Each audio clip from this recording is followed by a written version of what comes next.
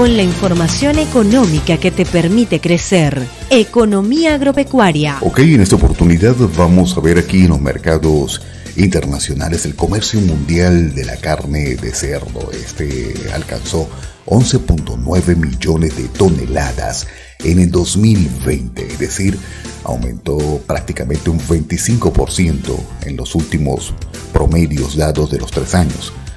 Esto, por supuesto, gracias a las importaciones chinas que casi se duplicaron a 5.7 millones de toneladas, lo que representa alrededor del 50% de las importaciones mundiales. Después de dos años de disminución impulsada por la peste porcina africana, se prevé que la producción mundial de carne se expandirá eh, al cerrar este 2021, aumentando con un 2.2%.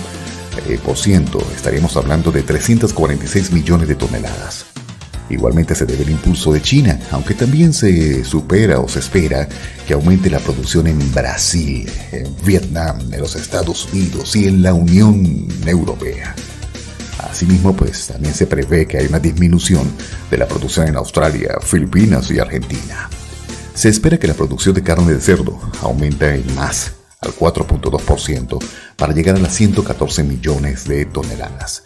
Sin embargo, nivel del PPA o lo que respecta al poder adquisitivo per cápita puede verse afectado ya que China presenta una disminución de su PPA, lo cual la mayor parte del aumento previsto se debe a una recuperación de la producción que tiene precisamente China en la diversificación de mercados, pero pueden llegar a 46 millones de toneladas al cierre de este año, es decir, un 10% más que el 2020 y aproximadamente el 85% adicional de lo que respecta a su producción del 2019.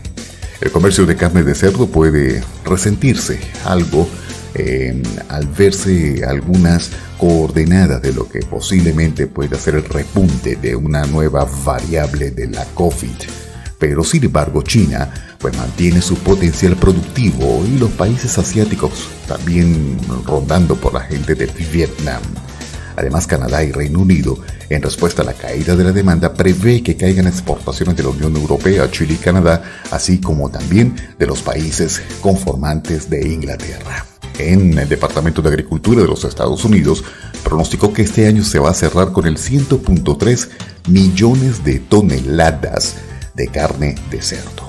Esto hablándolo por supuesto en canal lo que representa un incremento casi del 7% en comparación a lo producido el año pasado.